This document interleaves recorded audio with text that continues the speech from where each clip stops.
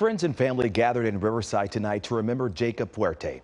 The LA City Fire recruit died earlier, earlier this week. KCAL's Nicole Comstock reports tonight on the loss for the Riverside community and the legacy he left behind.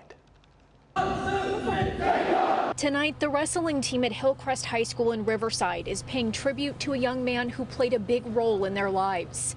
Jacob Fuerte was a former student here, a star wrestler turned wrestling coach. The impact he had on me in the short time was great, and I'm grateful for every experience I had with him. After high school, he went on to follow in his father's footsteps by starting the process of becoming an LA firefighter.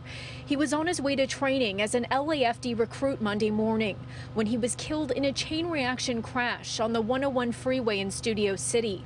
Off camera, his father told us Jacob was an amazing person, a real life hero, and a legend. We're just hurting with the family because I can't imagine what they're going through. I feel sad for his brother because he's in the team with my daughter too.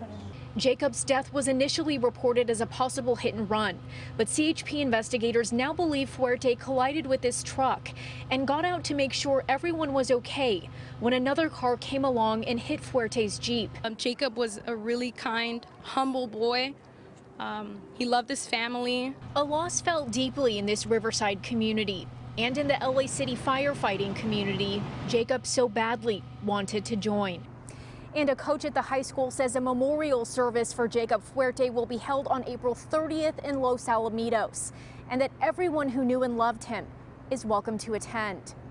Reporting in Riverside, I'm Nicole Comstock, KCAL News.